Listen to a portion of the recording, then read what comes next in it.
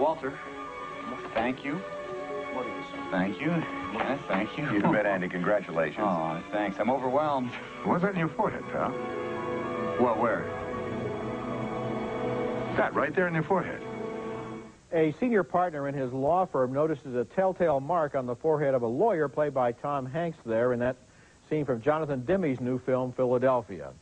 The senior man guesses correctly that it's Kaposi sarcoma, a skin disease associated with AIDS, and suddenly Hanks is fired from the firm where he thought he was highly regarded. Some people think you have an attitude problem, Beckett. Really? Who thinks that? I do. This is, of course, blatant discrimination, and when his old law partners start pretending he was incompetent, Hanks decides to sue.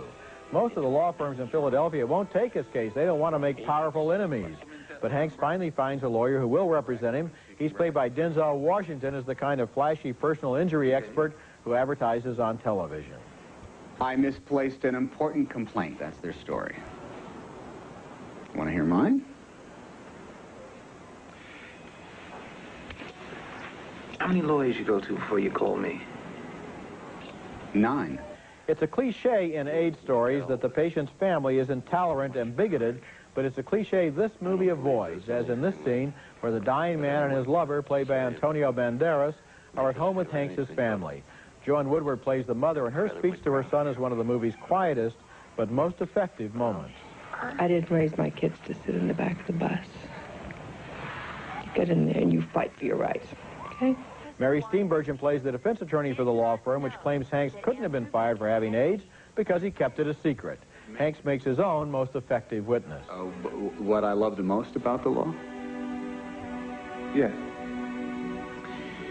Is that every now and again, not often, but occasionally, you get to be a part of justice being done.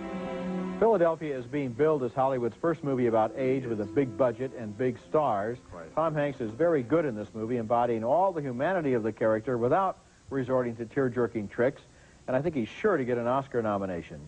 But the screenplay itself, I think, could have been a little better. Somehow, once the story gets into the courtroom, the truth and spontaneity of the earlier scenes gets absorbed into the old and familiar patterns of courtroom drama. Still, it's a powerful film. I had the exact same reaction as you, that Hanks's character is uh, compelling, but the courtroom story is really sort of mm -hmm. hack.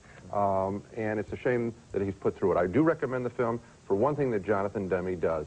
I think if there's a visual strategy and image to this film, it's Demme saying, let's look at AIDS in close-up. Mm -hmm. Here are the sores. Look at me because I think that uh, what AIDS victims must feel, among many other things, obviously they're going to die, is that people won't look at them. They won't even acknowledge them. And so his camera is used to pan down the face, pan down the body. Here it is. Look at it.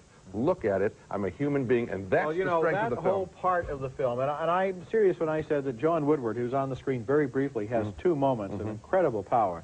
The part involving his family, the part involving his lover, the part involving the way he's treated by people is so much more important than just the structure of the courtroom. Who's going to win the case? Yes. We don't really care, and, or we know. We know, we yeah, we, care. we know, and, and the arguments are, are, are with the exception of a couple of big speeches, seemingly impromptu There's speeches by nice Denzel touch. Washington. Other than that, there's one nice touch, and that's stuff. when the Mary Steenburgen character whispers to her uh, to her colleague, "I hate this case." Yeah. Coming up next, an oddball story with an oddball title. Johnny Depp stars in the family drama What's Eating Gilbert Grape.